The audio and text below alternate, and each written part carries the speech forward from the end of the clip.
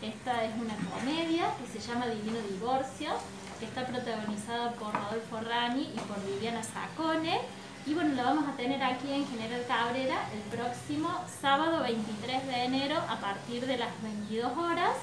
Eh, sabemos que esta obra está en Córdoba, en la provincia, pero no va a ser base en Carlos Paz, como lo hacen las obras usualmente, sino que va a estar un solo día allí y luego va a salir a recorrer los distintos pueblos de la provincia de Córdoba y eso, bueno, habla también de las ganas que tienen los actores de salir, de encontrarse nuevamente con su público y bueno, son las mismas ganas que tenemos nosotros de recibir a los actores y por supuesto de ofrecer estas obras.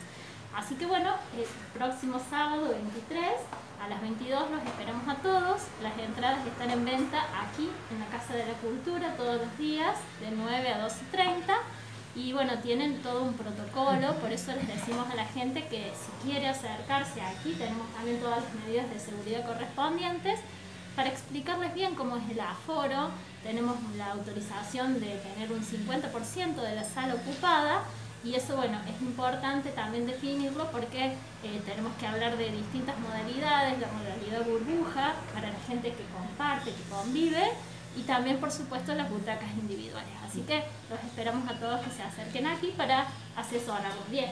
¿Cuánto, ¿Cuánto cuesta la entrada? El costo de las entradas es de 800 pesos. Así que bueno, los esperamos también. Tenemos habilitados los medios eh, digitales en la cuestión de las entradas con las tarjetas Cabal y la tarjeta de lo mutual de las comunidades y la tarjeta de Clenel. Así que bueno, los esperamos a todos para que se asesoren y puedan disfrutar de esta obra. ¿Cuánto, ¿De cuánto es la, la, capacidad teniendo en cuenta que van a recibir el 50%? Sí, tenemos una capacidad máxima de 150 personas, así que bueno, todos los que quieran se pueden acercar.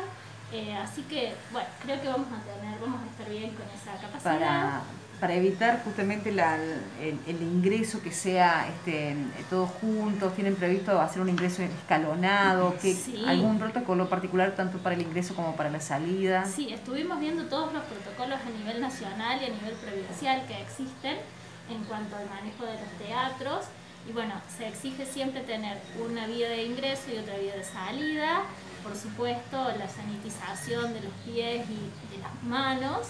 Así que estamos organizando toda esa cuestión interna para decirle a la gente que vaya con tranquilidad a disfrutar de la obra. Y bueno,